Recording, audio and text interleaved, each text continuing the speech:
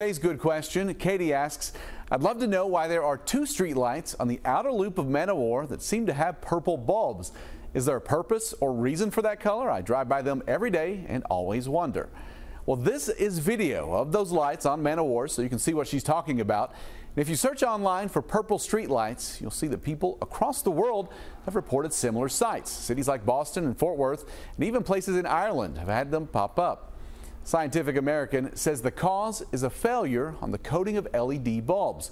Cities started making the switch to LEDs because they last longer, they use less energy, but those lights aren't naturally white. They're coated with a fluorescent substance called phosphor. As writer Karen Kwan puts it, when the blue light from the diodes goes through this layer, the phosphor absorbs some of the blue wavelengths and spits out red and yellow ones. The result is a mixture of colors that once again appears white. Now, if that phosphor layer delaminates or peels off, that deep blue light, which looks kind of purple, is exposed. A spokesperson for Bluegrass Energy told me the lights in that area are theirs.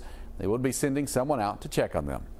If you have a good question, you can email goodquestion at wkyt.com. I'll see you on WKYT Mornings. Here with